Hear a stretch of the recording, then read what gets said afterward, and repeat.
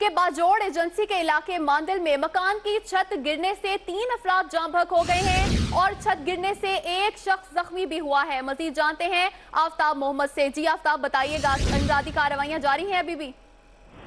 جی Bajaur agency کی تحصیل سلارزئی کے علاقے ماندل میں مکان کی چھت گر گئی ہے، جہاں ایک بچے سمیت تین افراد جابا ہو گئے ہیں، جبکہ ایک شخص زخمی ہو گئے اور اسی حوالے سے جو ہم نے سرکاری ذرائع سے بات کی ہے تو ان کا کہنا تھا کہ چونکہ مکان پہلے سے بوسیدہ تو اچانک گر گئی ہے، جس کے نتیجے میں تین افراد جابا ہو گئے اور اس طرح ایک زخمی شخص جو اس وقت ہسپتال خار میں موجود ہیں وہاں پر زیر علاج ہے۔ اور مزید ان کا کہنا تھا، جو امدادی کارروائیوں کا سلسلہ ہے، وہ مکمل کر دیا گیا ہے۔ کیونکہ جو جاباخ افراد ان کی لاشیں بھی نکالی گئی ہے اور اس طرح زخمی بھی نکالا گیا ہے۔ مزید ان کا کہنا تھا کہ تمام تمام افراد کا تعلق ایک ہی خاندان سے ہے۔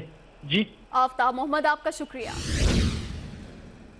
باجوڑ سے آپ کو خبر دیں، جہاں پر ماندل میں مکان کی چھت گر گئی اور ملبے تلے دب کر تین افراد جاں بھک ہو گئے ہیں۔ جبکہ اس واقعے میں ایک شخص زخمی بھی ہوا ہے، جس کو ہسپتال منتقل کیا جا رہا ہے۔ امدادی کارروائیاں بھی جاری ہیں، ملبے کو ہٹایا جا رہا ہے۔ باجوڑ ایجنسی سے آپ کو خبر دے رہے ہیں۔ باجوڑ ایجنسی کا علاقہ ماندل، جہاں مکان کی چھت گر گئی تین افراد جاں بھک ہو گئے ہیں، جبکہ چھت گرنے سے ایک شخص زخمی بھی ہوا ہے، جس کو ہسپتال منتقل کیا جا رہا ہے اور ریسکیو کارروائیاں جاری ہیں، ملبے کو ہٹایا جا رہا ہے۔ باجوڑ ایجنسی سے خبر ہے، باجوڑ ایجنسی کا علاقہ ماندل، جہاں مکان کی چھت گر گئی اور ملبے تلے دب کر تین افراد جاں بھک ہو گئے اور ایک شخص زخمی ہوا ہے، جس کو ہسپتال منتقل کر دیا گیا ہے، جبکہ ملبہ ہٹانے کا کام جاری ہے۔